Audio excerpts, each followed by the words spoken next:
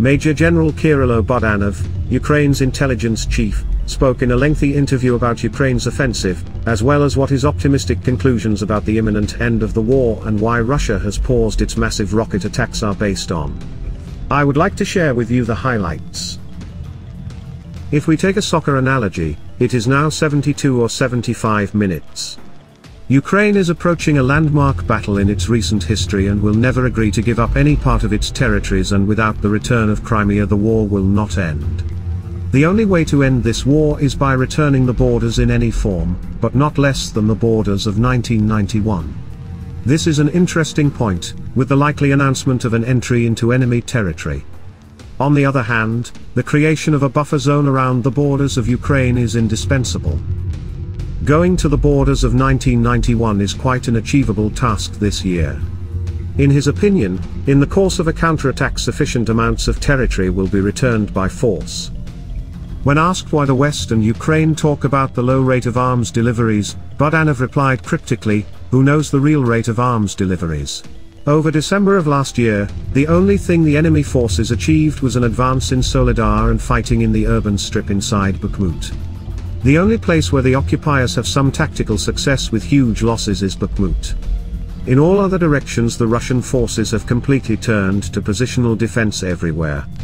Just one year later, the second army in the world has gone from offensive to defensive and now the game is played by the rules of the Ukrainian General Staff.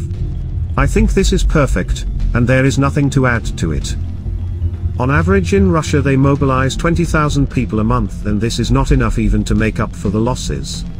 Russia always has a plan B, any defeat they show to the domestic consumer of information fast food as a victory. Russia continues to produce new missiles, but now it is accumulating them to disrupt the offensive operation of the AFU forces. The volume of missiles produced is insufficient to carry out intensive missile strikes against Ukraine's infrastructure. The volume of missiles, which Russians had already less than the volume of Ukrainian anti-aircraft means.